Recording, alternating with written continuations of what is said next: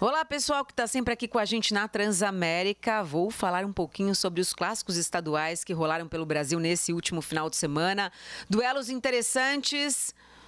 Não vou fazer uma comparação, mas eu vou começar com a disparidade entre essas quatro equipes, tanto em Minas quanto no Rio de Janeiro, né? A realidade entre Atlético Mineiro e Cruzeiro e Flamengo e Vasco.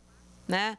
O Flamengo e o Atlético Mineiro vivem momentos muito bons já faz um tempo. Já Cruzeiro e Vasco disputam a Série B, mas clássico é clássico e vice-versa.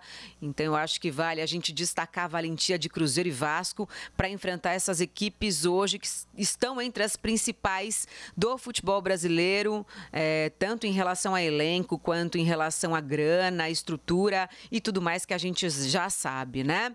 É, o Flamengo saiu na frente, o Vasco foi buscar o empate, aí o Mengão do Arrascaeta que tá comendo a bola, impressionante como tá jogando o Arrascaeta, foi decisivo mais uma vez e deu a vitória para o Flamengo. Já o Cruzeiro acabou abri abrindo o placar, o Atlético conseguiu um empate numa cobrança de pênalti convertida pelo Hulk, mas num lance muito polêmico, né? Muito discutível também. E aí o Ademir acabou sendo decisivo é, e muito oportunista na virada do Galo que deu a vitória ao Atlético Mineiro.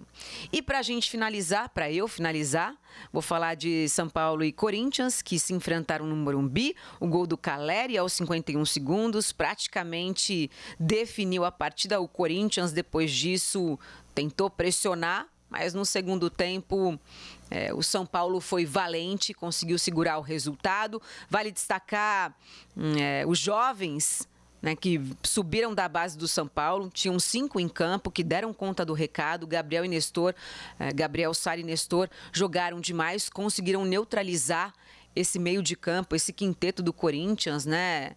Tão comentado, mas que pouco pôde fazer. Então, eu acho que a gente pode esperar bons jogos, é, apesar de Atlético Mineiro, Palmeiras e Flamengo saírem na frente em relação aos demais. É o que eu espero. Muita competitividade nessa temporada de 2022 que está apenas começando, mas que promete muito.